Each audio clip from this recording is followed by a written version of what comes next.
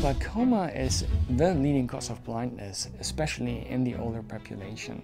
It is a worsening, relentless loss of the optic nerve that is immediately directly related to your eye pressure. Whether it is elevated or whether average, that pressure has to come down to stop the vision loss from progressive optic nerve damage.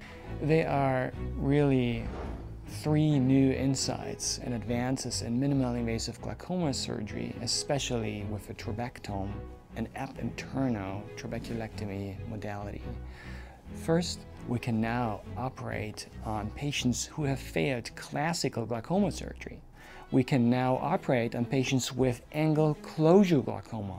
We can now combine minimally invasive glaucoma surgery with large tube shunts and improve the outcomes of classical tube shunt surgery as well.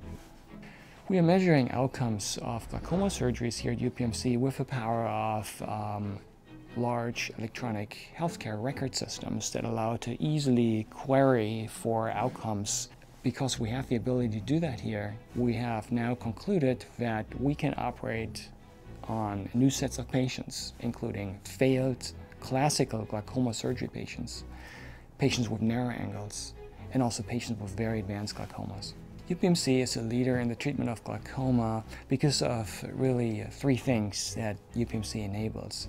One is, well, you have to have the technology that is very expensive to perform a procedure that works on a structure 200 fold smaller than what you would see under a microscope in classical glaucoma surgery.